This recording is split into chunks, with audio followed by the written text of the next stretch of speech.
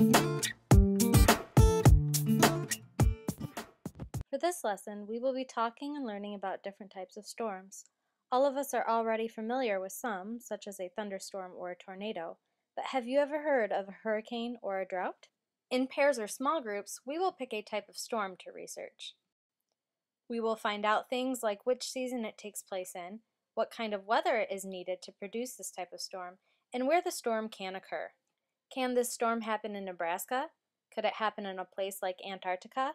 We will find out why these storms can occur and who might be affected by this storm. Will we need snow shovels or will the roof of my house be damaged?